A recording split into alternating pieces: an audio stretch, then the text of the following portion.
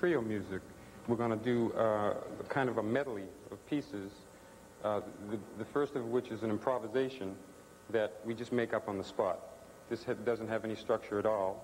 The second part is going to be um, our rendition of an old standard song called Autumn Leaves. And then after that, we're going to play a little um, fast piece uh, composed by who I consider to be uh, one of the sort of classic composers of jazz, Thelonious Monk. And uh, the piece is called Rhythm-a-ning.